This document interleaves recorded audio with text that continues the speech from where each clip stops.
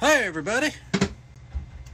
Everybody's starting a live video. Welcome to Age of Quarantine here at the St. Vitus Bar live. Oh, there's Brian. He's already here. Um, how's everybody doing? Hanging in there. Hope. Dealing with bullshit. We're going to get right to Brian Meehan right now. Wow. Wow. It's Brian Meehan, uh, old friend of mine, guitar player of many a band. Uh, most notably in my life, Milhouse and Loyal to None, uh, as well as Kill Your Idols, um, and uh, an old bud. It's connecting, and things are happening. Yes. I figured out the internet. I know that was way too easy. I always, I always say like the biggest problem I ever had was like Jay Robbins and uh, anybody who was like just too old. Although Oh, Jay. I guess That's me. you are older than me. It's true, I believe. Yes, yes, by probably at least four years. Yeah, Nice. Enjoy. Are you- 50? No, 48. 40. Oh, you got me by a year. All right, fair oh, enough. There you go. How you doing, man? I'm exhausted. I've been up since four. How about yourself? Oh shit, I'm sorry. I didn't mean to keep you up. No, no, you're not keeping me up. I'm just exhausted all the time now. Oh yeah, you uh, you working right? You haven't stopped working this whole time, right? I I actually stopped for a few months because um, I was working uh, past the when everything got shut down, and then my partner got sick, and I had to self quarantine, and then I went back to work, and the city was a ghost town, and then my job got shut down, and, it was uh, it was uh, deemed not um, essential enough, so I wound up going home for a while. They my shop offered me a hospital in Queens to work at, but that's the last place I wanted to be during that. I would imagine, yeah. So, um, you you're a union carpenter or Electrician. electrician? Okay, Electrician. Yeah, that's a good. Yep. That's a good job. That was a, that was a wise choice way back when. Well, I think I remember when you, I- when you went into that. and then I left it so I can, you know, Tour. tour, with Milhouse. Like, be, be an idiot, yeah. So uh, we've Yes. uh, we've known each other for 28 years, I guess, maybe 19, 92, 91, I'd say. 91, 90, yeah, yeah. And it, like Damn. you were in Loyal to None at that time. Had that started? Yeah. okay. Mhm. I was I was trying to remember like how how that all came about. Because I remember, you know, obviously you guys How- were all, you guys were from Queens, like you and Chris, um, and Right. Brian. But Brian's lived down the he lived down the road from the angle. And he was like, "Oh, this place started doing shows." So we would go to sh- the shows after practice.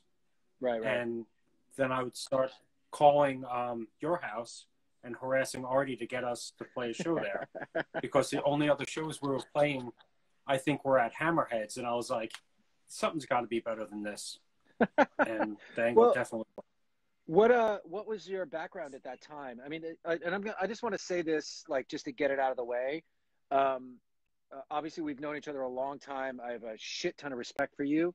Um, I think Oh. that you're one of the more or one of the more original guitar players from that scene. Um, Okay. I, I, I, I uh, you just have a style of your own that I mean, and I'm, I'm sure you're not unlike me in the untrained style where it's like, Yeah. you're not very good at playing other people's shit, but you can play your own shit really well. And then other people aren't very good at playing your shit because it's super fucking weird. yes. Yeah. Well, I'll thank you very much. And you know, you are one of the guitar players that I've always looked up to.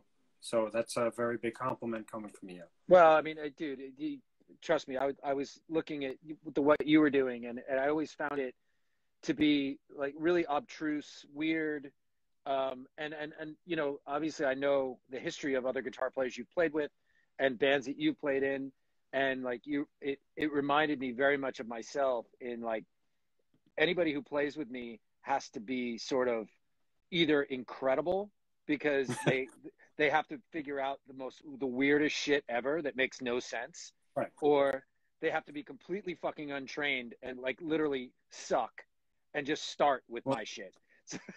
Yeah. I, I think we've both been fortunate enough to surround ourselves with great players. Like, Fuck yeah.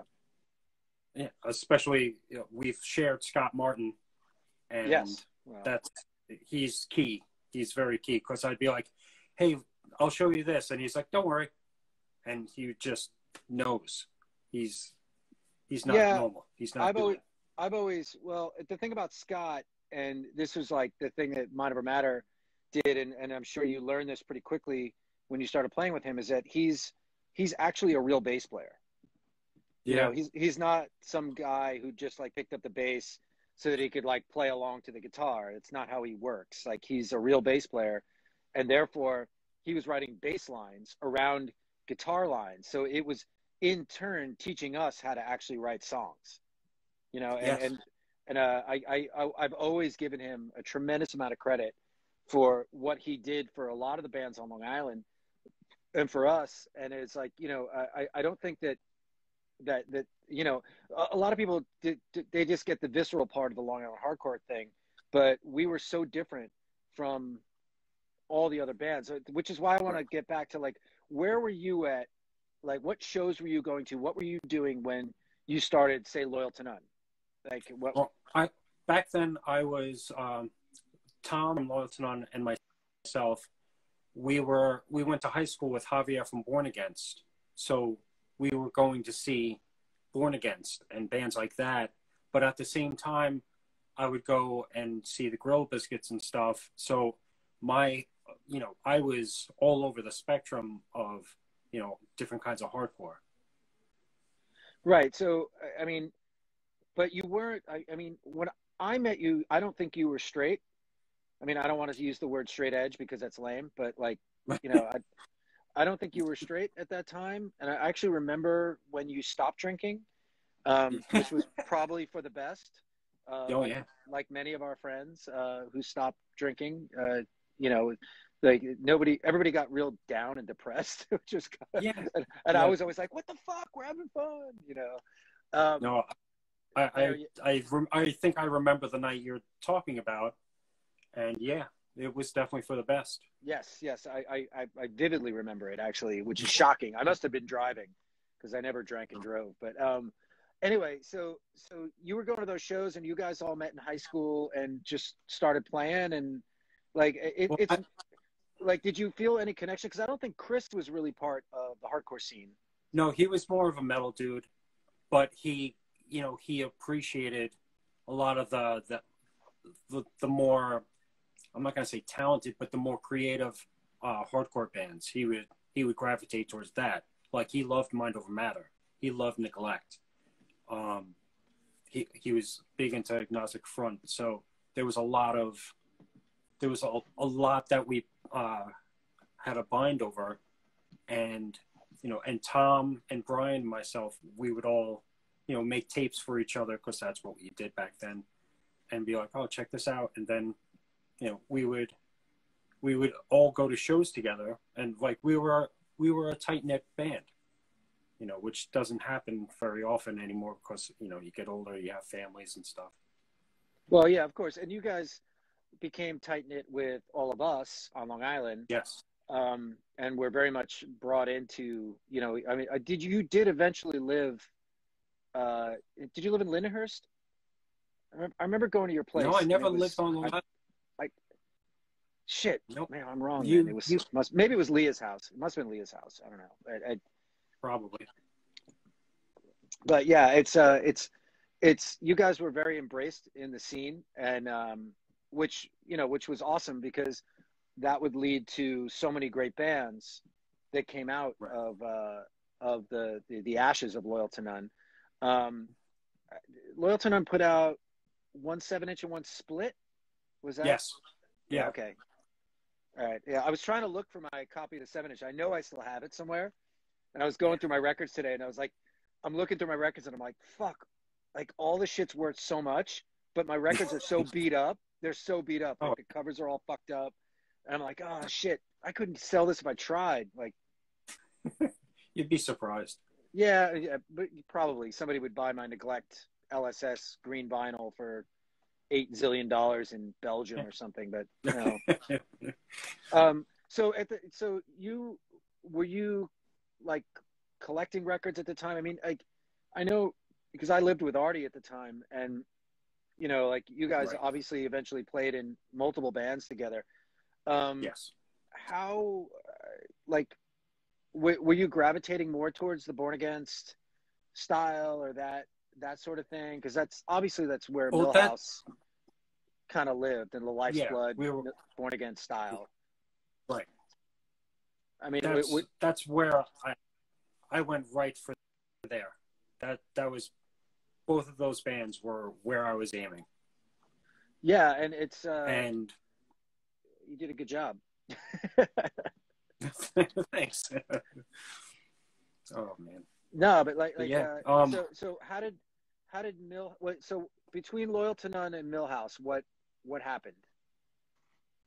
All right. Um, Loyal to None fell apart because we were getting more and more busy, and uh, Chris was like, "Listen, you know, you you guys have uh, this vision that we're gonna do more and more stuff." He's like, "And my job and you know my life is just going in a different direction." So you know, we just ended. And at the same time, I think I saw Artie play with no thought. Oh, right. At the end, and I was like, "What he's doing." and the, the band's doing is two different things and I was like, I'm gonna eventually start something with him. And then I um I, I told Artie after a show, I was like, you and I should do a band together more like this. And he was like, I'm in it. Let's do it. And we never did anything. And then Artie introduced me to Andrew Orlando. And Andrew was like, you know, let's do it, let's do it. And he was the driving force. So I was driving to his place in Queens and we would sit there and just try to like uh, write guitar parts. And let's see, then I think Pete, uh, Pete Chicato was on the bass. And yeah. originally we had Brian Schroeder, if you remember Brian, on the drums. Yep. And I think he practiced with us twice, and then Dave Patricios came into the mix. Oh yeah, the real Milhouse. Yeah. Yeah. Yeah. um, and, and, and talk about people that were too too good for us. That Dave is outrageous. Oh yeah, like he was incredible. And he had to be so patient with me because my my creativity outweighs my technical ability by a mile. So he helped keep me on track by uh, playing to me and keeping it, you know, steady. So what do you mean by that? I mean, I, I kind of get it where like what's going through your head is not what's coming through your fingers. Yes. And like, like how hard did you have to work to make that work for yourself? I was not only um, playing stuff that I was like, I don't know if I'm going to be able to recreate this, but I was trying to write songs above my ability just to like challenge myself and to like because I knew at some point I would get there. And then once I got there, it was, you know, it was second nature. So I, that's how I would personally get myself to progress. Right. And uh, uh so, I mean, yeah, I would imagine that that was probably really frustrating for other people in the room trying to oh, write. And, and I was, a, you remember me back then. I was way, I was so tightly wound. Yeah. I, like yeah, it was. I was a nightmare to be in a band with. Well, you and Artie were both like pretty. Yeah, it was. I mean, bad. Just straight mean. but I mean, yeah, it, it, it was. I, I, got, I got uh, that you, you guys wanted a certain thing, you know, and and uh, like the the the results were uh were really were legendary. In my mind. I think Milhouse was a band that like was a little too late in the game from our, our, from from what we from our world. The, that early 90s was so much different sounding than the from 95 on with Silent Majority and whatnot and, and it i mean you know it, we still had vod so vod was doing sort of like they still had the ignorant breakdowns and shit and you know, and Silent Majority was doing more of a lifetime thing, and Milhouse was carrying on the Born Against uh, sort of legacy. And I, I don't like that. Sort of weirdly fell out of favor. You know, it was like it wasn't emo enough to be emo, Right. but but what it but it it served a purpose Oh. a lot on Long Island. You know what I mean? Like as far as evening things out on a sound wise, sound way. You know, like Right. We always thought that we weren't hardcore for the hardcore kids. We weren't weird enough for the weird kids, and we kind of just fell into this weird um, abyss. right. You Which- know, which our totally- records look too slick. You know, it was there was a whole there was there, was a whole thing that was just like, oh, you have a hardcore uh, on your record. You know, I don't, I'm not even going to listen to this. It was How much it wasn't easy. how much touring did Milhouse do?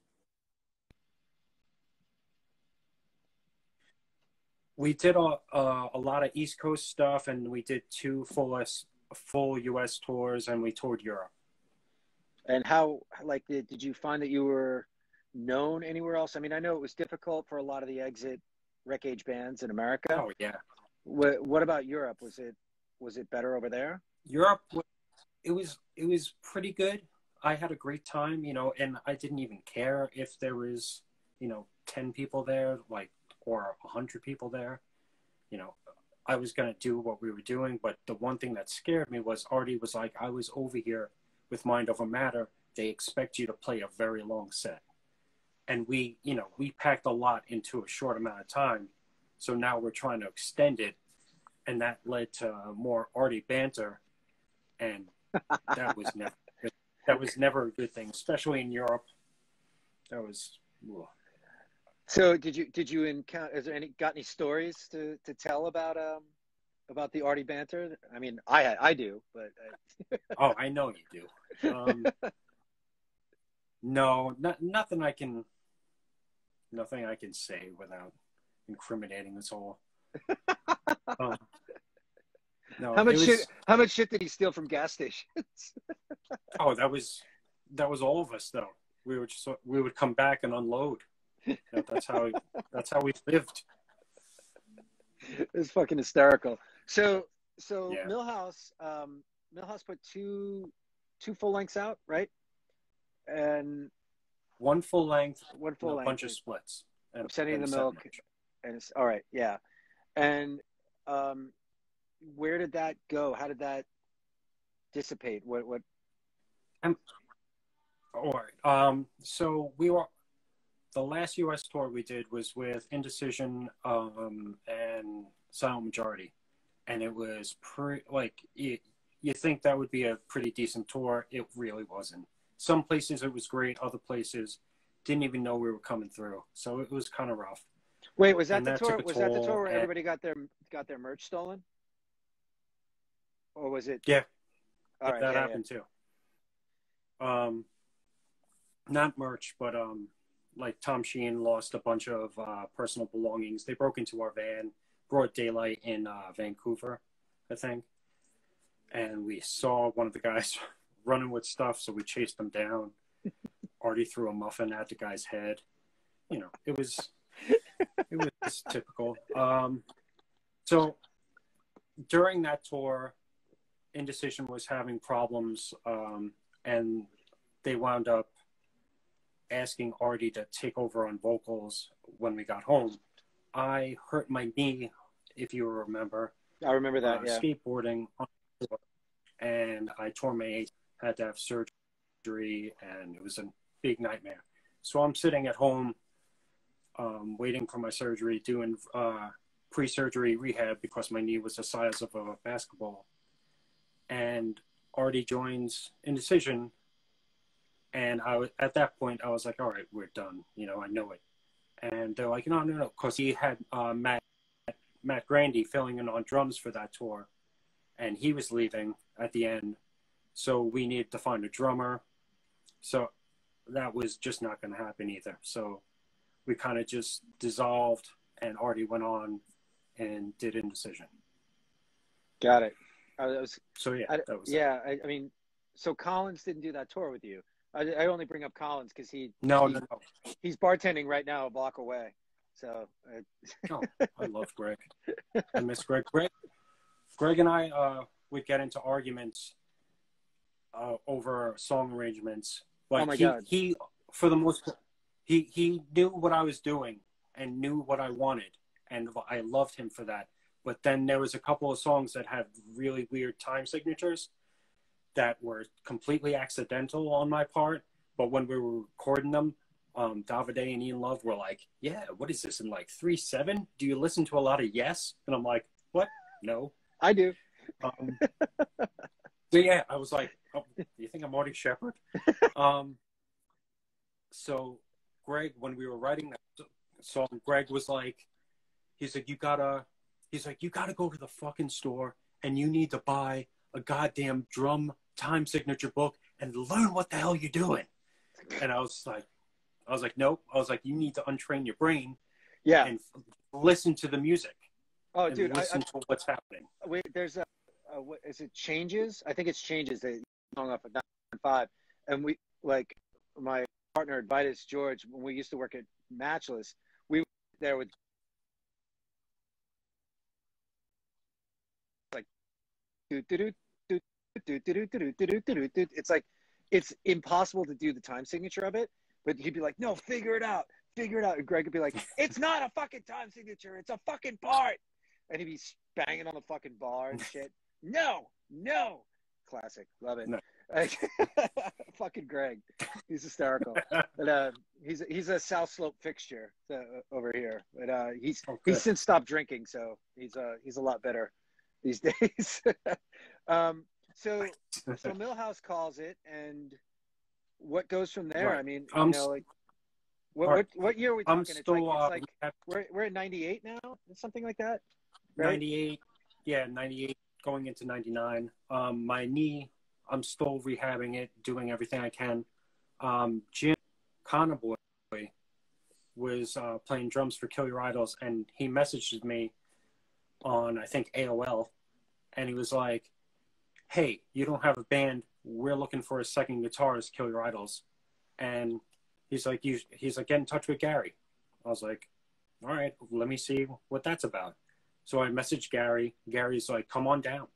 He's like, try to learn um, this, uh, the 12 inch EP. So I learned it. I went and I uh, sat with Gary. We went over stuff. The hardest thing for me was going to the house to Kill Your Idols because it's all straight timing. And I was like, my hand was going like super fast. I was like, all right, I got to slow down. I had to learn how to play in that groove. And it took me a while, but you know, it, that all worked out. Yeah, I was I was gonna say like Kill Your Idols, uh, like you're uh, Gary's an incredible guitar player. So none of it was like as It, as he's too good. as simple as Kill Your Idols might sound to the ear. It's actually not. No, And- and Ga- Gary's so good. My my my whole the the whole time I played with them and Gary, I was just trying to not play so badly that I would make him sound bad because ruined.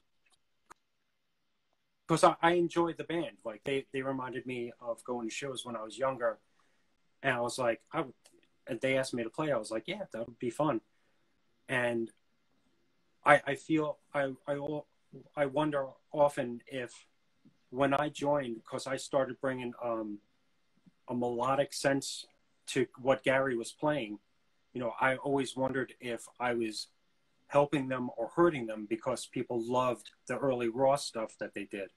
And then when I joined, it got all two guitars. And I never knew like if I was doing the right thing or the or the wrong thing. So, Right. I mean, it, it's you know, you know, it's uh, Kill, Kill Your Idols is a band that's had a lot of periods, you know. so, um, Yeah. It's that's Yeah. totally that's totally okay, you know. uh, uh, And then they turned into a black metal band, so you know it. Uh, it, it all worked out. It all worked out in the end. But uh, I, I mean, did you like? So, did you quit Kill Your Idols, or Well, I wound up, I wound up. Um, the band ended, and then I played a few reunions, right, right? I and then remember I just, um, Gary and I stopped. Um, they basically asked me, you know, we said we're going to go on without you. And I was like, all right, that you know that works. It's, it's not the easiest because I, I live in Jersey now and they practice on Long Island, and you know they're still going, and you know I'm I couldn't be happier for them because you know I think it's it's very key because there's a lot of kids that um, are getting into them now that didn't get a chance to see them, and now they can. Right. Because they have such a catalog, and I think they were an important band.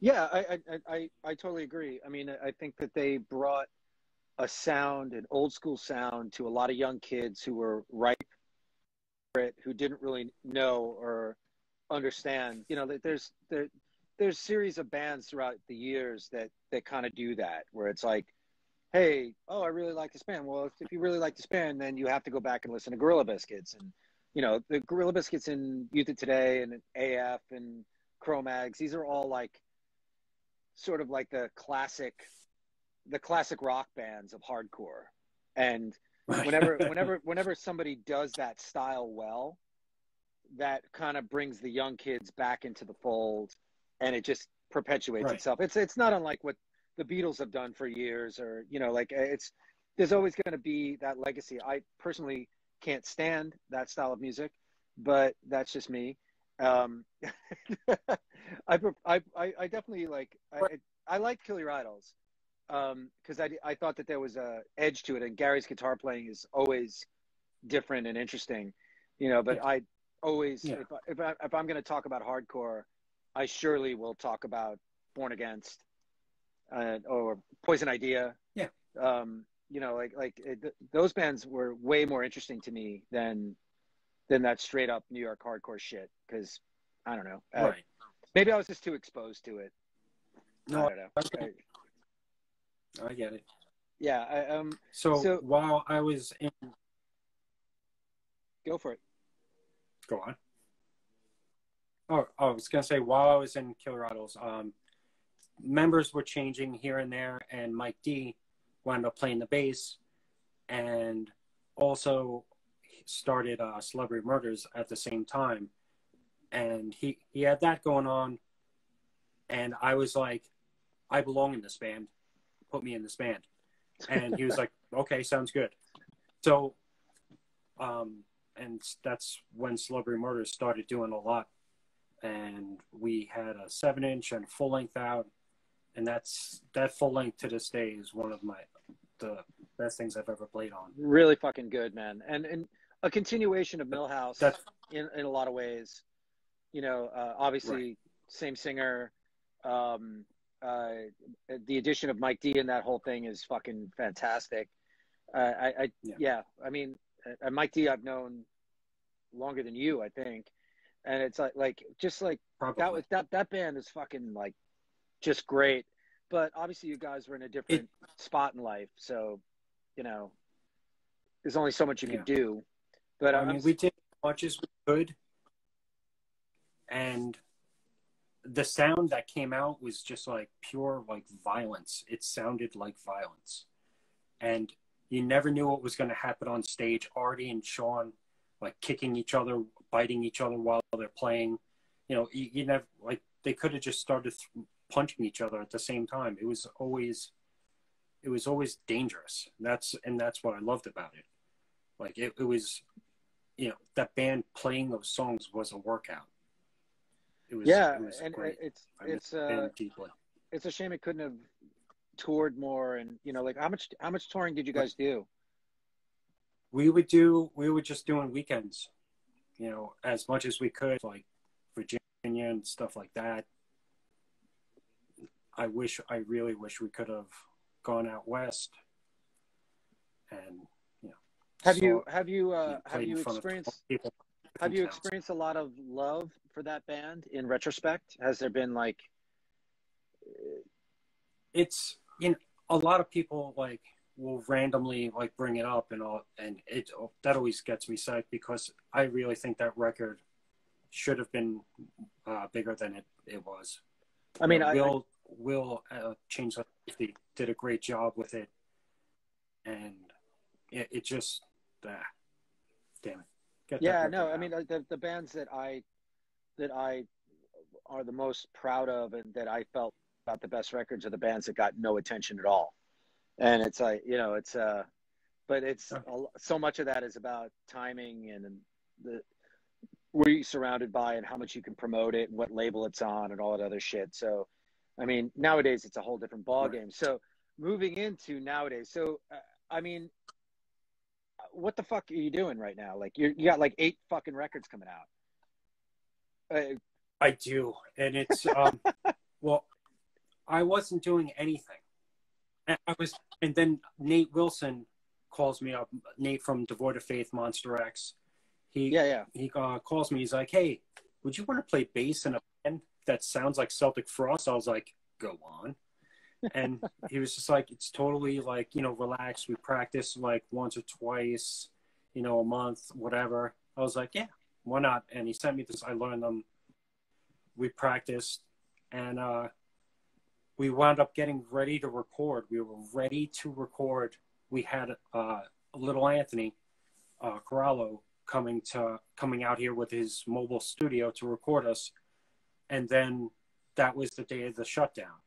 So uh, we canceled that, and we we ju- we kept practicing as much as we could um, through the internet, and as soon as um, things got a little safer, we wound up recording at Nate's house with Anthony, and we were all like 10 feet apart from each other uh, and recording with masks on. So that was fun.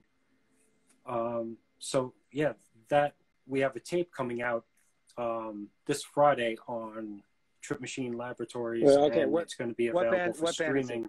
what because i know that you got like four Oh, I'm sorry. Uh, Pariah. okay This what, one's what is uh, it again This Sorry. band is called Pariah. Pariah. okay got it and so there's also So that's that's this there's Friday. Omega, Glo- there's Omega Glory and War Camps, and I mean, it- just keep just and, keep going, keep going about it because I and honestly- Dead Torches. and Dead Torches. Okay, so All right. I've heard, I've only heard Omega Glory, and that was sort of like a Okay. Assück grindcore style, and Yes. that, that uh, your guitar tone is fucking insane on that. Um, I'm guessing you did it on a Drop A. computer. Drop A, of course. I, I I I did, but I also I also uh, went through one of my amps over there and uh, went through the back of the head into my interface. To, I was layering guitars like you know a champ, and I never did this stuff before, but I had all the time in the world during the lockdown, so I figured some stuff out. Um, Omega Glory, we just had um, State of Mind put out a, uh, a seven inch lathe, and that sold out. Um, we have a tape of that same recording, the six songs, coming soon, and a second press of that uh, seven inch lathe that's going to happen eventually soon. Um, Is that band with Ross? War camps. Yeah. Um, no, no, no. That's just um, Sean McCann from um, Herjaza and Celebrity Murders and Murdoch, The Dying Light. Um, he plays. He he's uh, he's a great bassist and he's a fan, uh, fantastic drummer. But in that band, he just play. He just sings. Cool. So I programmed the drums and I played the bass and like seven guitars. Look at you, That's- Magic Man. it just sounds like a, a vacuum. Yeah. So moving on, um, Dead Torches is the band with Ross. It's basically Man Alive, but shorter, faster, and heavier. Um, and Fuck, I forgot so, about yeah, Man Alive. I four guys Man from Man Alive. Oh fuck, I totally Yeah. forgot about that. See? shit. I think that was the last. I think the last time I saw you was when Man Alive played with um, Mutoid Wow. Man Yes, at Vitus. yes. Yeah, So that was that was fucking awesome. long time ago. that was a good time. So continue, yeah, that- continue, we, continue with all um, of them. all right. Uh, Dead Torches. We have about. I wrote uh, 14 songs during the quarantine, and we recorded seven of them. And uh, that's going to be a seven-inch coming out on Hell Minded Records. They just uh, put out the Shades Apart and Second Arrows record. Um, yeah, so I'm looking forward to that. So, so let let, let me And ask you this: like, what? Go ahead, continue. Do the, do the next one, and then we can talk about where all this is No, coming no. from. All right, all right. So then, uh, War Camps is with the band with Tim Chunks, uh, Amery from Suicidal, and Bill, the bass player from Band of Forces. I don't know how that happened, but Hey, Uh, everybody's a hardcore kid. Why not? I don't know. I, I, I who knew? Could be. But um, Who knows? so we're we have about eight songs, and Tim has to finish vocals on a couple. He said to say hello, by the way. He's a big fan of it. yours. Uh, fucking miss that Um, guy. yeah. What what uh, so, So- what what does War Camp sound like? Uh, that's just like, like straight up like uh, old school hardcore. Like um, we were going for like negative approach seven inch feel, Oh, sweet. Okay. just like raw. Yeah, I mean it's uh, uh by the way, Negative Approach is still a great band. Uh live. Fucking insane. Um it's incredible John that those guys Terrifying individual. It's crazy that that, that yeah, I, I mean watching them play at Vitus was like what the fuck? Like you know, it was almost as cool as Poison Idea, Yeah. but like fucking you're just like holy shit, like this guy's so fucking real. I wish Laughing Hyenas could have played. Yeah. Um, but yeah, uh, Oh. like what, uh, like where where are you coming from with all this? Like, so because it all is all very different, you know. like they're, they're definitely feeling like Yeah. way more metal tinge than I'm used to hearing from you. Yeah. Um, but like, like Right. where are you finding the inspiration? What's where's it coming from? Well, um, when when everything locked down and I was still going to the city to go to work every day, it was it was completely like barren and desolate, and it was kind of terrifying.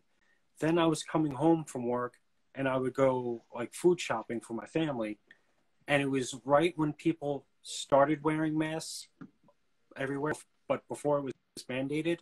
And I was looking around, and it was like this really crazy apocalyptic feel to it. And i didn't you know like i was really getting weirded out by the feel. And it just like brought me to a weird dark place. And i don't know i just started like delving into more like heavy music and i was like i wonder you know if i can get to um, what i'm hearing and what i like and i was able to get some stuff that i'm pretty with like the omega glory stuff i love It's couldn't it's fucking cool, man. It's like it's. I mean, it's fucking bleak, for sure. And, and I, I'm psyched Yeah. that you like worked so hard on the guitar tones because, you know, like that reminds it. Like as soon as you put it on, as soon as I put it on, when I listened to it, I was like, it reminded me of the guitar tones from a Godflesh record, but mixed with Nice. like the the intensity of an Assück record. You know, it's like, but then like a lot of there's so much so much is like I, I always harken back when I hear grindy shit to Assück, but so many so much progression has been done over the years with grindcore. You know, Right. between Pig Destroyer and and uh, you know, uh, like there's just so many bands that have done really interesting things with the genre. Um, but Right. it, it has an old school feel, but a new school heaviness to it, and it's uh, it's Right. really cool. I, I I I have to say I haven't heard any of the other stuff you've done, uh, and part of the reason I asked you to be on this was because I wanted you to talk about this new stuff because you got at least you can try and sell it in the world's most ghetto way on Age of Quarantine. Yeah. But Oh, talking to my lame ass, but yeah, Um, it's uh, yeah. I'm psyched that you're still doing shit and you feel inspired to uh, be angry um, still in that way. Yeah. It took me like, like Artie Artie uh, White made a, a like a comment years ago he was like, "Oh, he's like, you know, you you stopped being as angry as I remember," and I contribute a lot of that to me, you know, becoming a father, and I kind of lightened up. But my my kid's uh, 13 now, and that anger is snapped right back. like I'm, I'm, I'm as short fused and as angry as I've ever been. So wait, I, wait. When Artie said that, when Artie said that, had he had a kid yet? No, because I've never seen anybody no. soften more than him. But oh, I know. It's it's glorious to watch. and he, I love I love seeing it. Yeah, and me has, too. Me too, actually. Yeah, he has the most beautiful family too. Yeah, it's a, uh, it, it's it's interesting. It's interesting to also to watch his sarcastic Facebook posts go like to, "Hey, happy birthday!" Like Artie would never say happy birthday to anybody.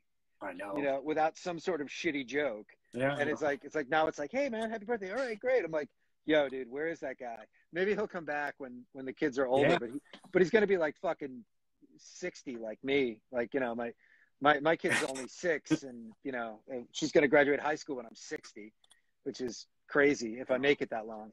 But yeah, man, it's it's uh I, I I'm I'm just like uh, so I wanna I wanted to go back um a little bit because I did a series of interviews with people uh, week after week uh, from the Long Island hardcore scene.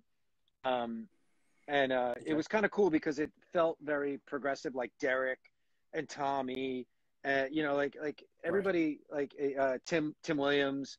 Uh, you know, what where's your head about that whole scene and the importance in not maybe I'm not going to say importance because that's sort of grand grandiose, but um, I I made a comment recently online about how we kind of picked up the ball when the city kind of dropped it, and it, I got a lot true. of shit.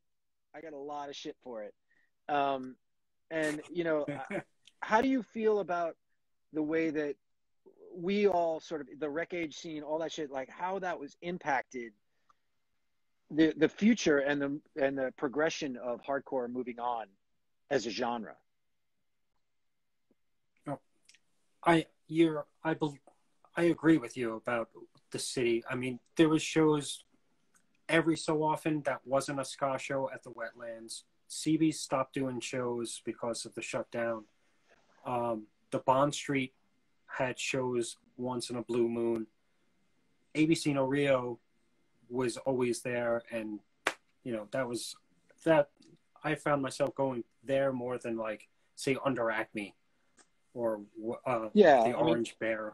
I feel, like, I feel like we, I feel like all of the kids on Long Island, we all did. We all felt, at least the kids that were like more involved, were going to ABC No Rio more than anything, for sure. Right, but the show shows on Long Island that you and Artie were uh, doing, the, those were that was constant. It was weekly, and it was a place for everyone to go and see uh, bands that you wouldn't see. I mean, how many times did the Bouncing Souls play the Angle? You know, when they were like just getting over their the funk part of their career. but um, when they got when they got over the funk part though, they got that was their that was their sweet spot. That was like the, the eight ball EP. Yeah. All that shit. That was oh yes, the, the green ball and EP. Then and then when they got signed to Epitaph, it kind of was like, eh, like just like every other band that went into Rancid land, kind of was like, uh, all right. I guess. I mean, I, I, I would never come down on them. It's like because I love them, and I think, but they they had a sweet spot there where they were so original right. and so cool, and you know, not that they didn't lose their spirit, yeah. but like they just got a little bit like too punk for me, but maybe perfect for other people, which is great. I always say, Brian, it's it, not it's for it's not for me. It's for not for me to like. Still going. It's just not for me to like. That's all. Right. It's not for me to like. Right. But yeah, I mean, so so, so but yeah, continue. When, when you guys were doing the shows, they um they were consistent. You know, it was something that the city didn't have. It had that consistency, and it had, you know, Artie would put on the most diverse shows. So there was something for everybody. And then once the angle stopped, other uh, show happening um, different places like VFW halls, basements, um, then PWAC.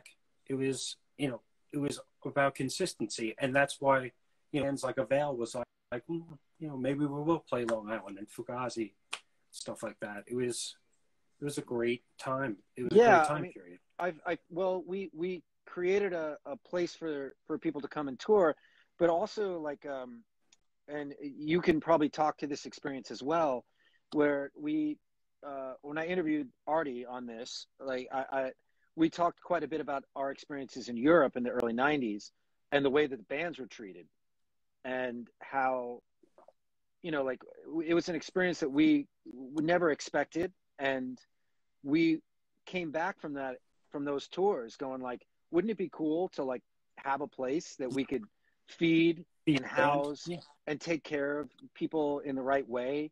And i feel like that was also a huge part of it but there was also a shit ton of kids ready and willing to come out and see the shows and and uh experience stuff. I mean i i i can't even i can't count on a thousand hands the amount of people i've met who saw shows for the first time either at the angle or at the pwac and you know like and our career music people you know Right. and that's that's so It's that's a fucking moving man. That's fucking like the shit. And you know you were a big part of that you really really were and you know i i, hope that you know, the work that you did with Milhouse and and uh, and whatnot is you know not downplayed in your head at all because it was fucking pretty cool i mean i know it's not cool to think you're great but if you want, I'll get my wife and my daughter in here, and they'll they'll just tell you how great I'm not. they'll just shoot that right down. Yeah my my uh my my daughter uh loves to do that as well. Um oh timmy chunk says hi. Hi tim. Um Hello. but yeah it's uh it, it's i think i think it's a it's a cool legacy. Um and i i i wish that the documentary had gotten finished and whatnot or there would be something that sort of depicted a lot of it. I mean uh, i don't know if you saw that derek schilling moved from long island today. He moved to north Yeah. carolina North Carolina or something. yeah Oh. whoa Well, I mean, I have a feeling he's gonna he's gonna wind up in a band in no time out there. oh yeah with rick to life or something yeah And, uh, I think a bunch of the tension guys are out there. Uh, probably. I don't know. Uh, I mean, I haven't. Uh, I haven't really been out on Long Island in a long time. So, uh, I mean, I've been out there, but I haven't really paid a lot of attention. And now that George Reynolds is gone in Las Vegas, I really don't. Uh, Yeah. You know, it's. I, I'd, I'd go out to see Scott and John, but you know, it. I haven't. So we only need um, we we only use the Over Matter shows as an excuse to fucking hang out and maybe play a couple of songs here and there. But um, so what's what's going? Are you going to play like when live music comes back? Are you planning on playing with any of these new bands or what? Yeah, yeah. Um, Dead Torches is an actual band. Pariah is an actual band. Omega Glory, the best thing that could have happened happened.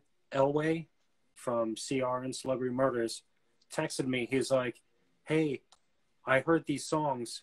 I don't know what you're planning on doing with them, but I'm gonna learn how to play them just in case." So, having somebody like Elway uh, behind the drums is the only, he's the only person I can play these songs and like imagine playing the drums. So Cool. I would be- mean, it would be, it, yeah, it's like, it's, I know it's like, uh, it's a difficult thing to sort of envision at this point for, uh, yeah. I, I mean, what are you doing? Like, what are you doing? You, you own two bars. How how are you functioning here? um, Like, what's happening? I'm on prescription drugs to deal with my anxiety. Okay. Um, no, I mean, I, you know, I, I basically, uh, I'm just dealing with life, man. You know, it's like, uh, I, you know, St. Vitus is closed, um, for Yeah. probably until mid next year. And, uh, if not even later. And, uh, the bar that I'm sitting in the basement of right now, um, that's been my focus and just keeping it open and making sure the, the locals are happy. Um, it's, uh, Good. it, it's shitty and it's really, really fucking hard. And, uh, I, I, I never realized, uh, how fucked up my head was until this whole thing happened, but, uh, I'm dealing with it and You know, it's uh, I I I, I got to be there for my family and try and make some money and uh, and not be a complete fucking crazy head case. I mean, it, in the beginning of this thing, man, it was like, I, you know, it was really hard, and then they made it even harder by putting all these regulations on things and then changing it every day, and we Right, never right, knew right.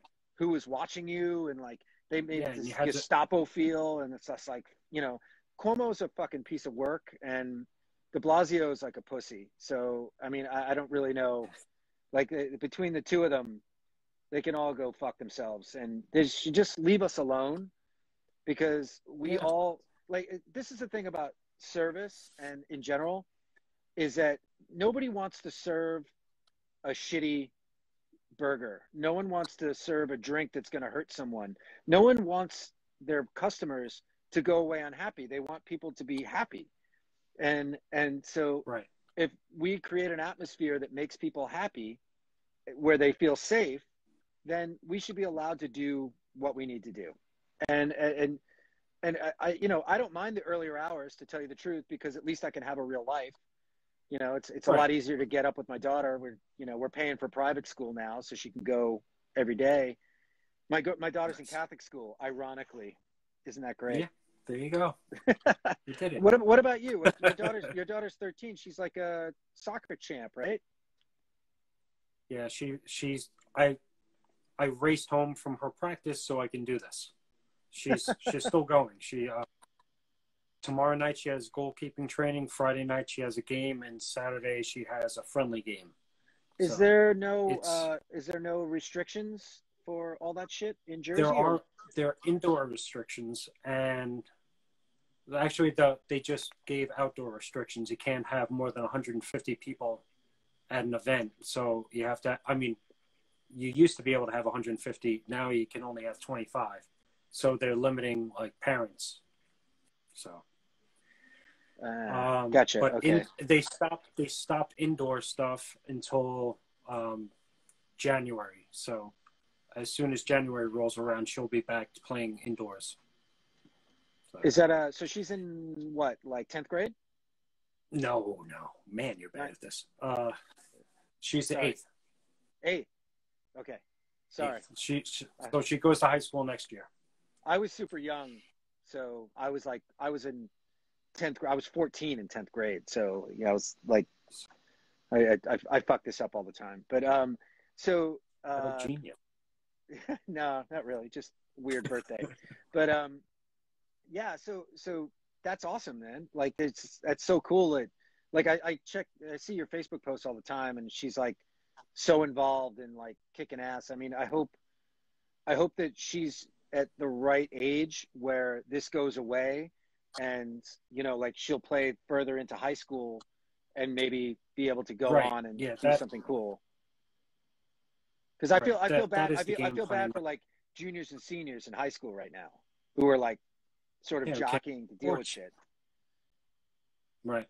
My my niece uh, just had an ordeal where um, she plays softball, and Villanova was looking at her, and they they were looking to give her an offer to come play for them, and they backed it off, and then she had nobody, and then thankfully Hofstra gave her an offer, and you know, she didn't want to go to school on Long Island because she didn't want to go out on the weekends and run into uh, my brother and his wife like at a bar or something, and she'd be like, "Ugh, you." so, but I'm excited because I now I get to go and see her play. Oh, that's cool. If- I mean, I, you're a, if we if we get back playing sports, so you're you're a big Premier League guy, right? yeah, What's your what's your team? Yeah. Arsenal Arsenal. All right. My uh having my a ter- terrible season. my resident uh, uh no, sorry, my my my resident tour manager is Chelsea. But uh yeah, uh, I've I've way too much experience with the with the English Premier League. Um I never chose a team. So It, that's probably I the have best to way go- to go. You could just. I'd have to go I just I just follow Oasis and go Manchester City cuz Oh you yeah, know, and then to Manchester. yeah, I mean cuz they're really They're good now, right? Awful. Are they? Oh, no, well, no, no, they're go. doing terrible. All right. Well, I'm gonna wrap it. Um, thank you Yes. so much, Bry. It's fucking great to catch up with you. I'm sorry we have to do Thank it in you. public, but we can do it in Yes. private again uh, at another time. But I wanted you to get all your fucking bands out there so people knew about what you were up to. Um, and I, love you. You're the fucking shit. And keep fucking playing, dude. You're in, you're I inspiring me. I love it. Thank you. Thank you. I love you. Later, Take bro. care. Love you too, man.